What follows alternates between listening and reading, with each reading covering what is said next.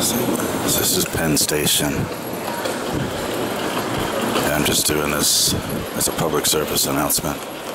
Don't believe the lies. When they tell you that there's no working public pay telephones in New York City anymore, they're just, they lied to you.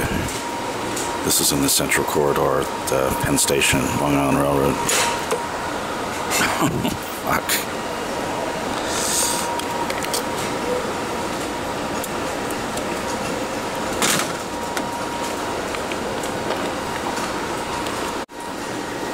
Well, this one might be dead.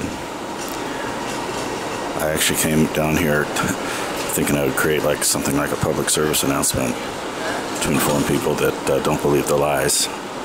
There are actually working public pay telephones in, in New York City, and this was supposed to be one of them. And this was one of them last week, but today there's nothing. Or I might have been here two weeks ago, I don't know, but this is the one with the handwritten phone number.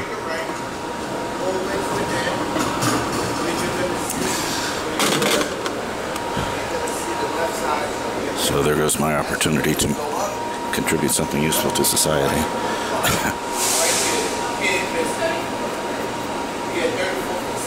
that sucks. The one at Rockefeller Center is also down.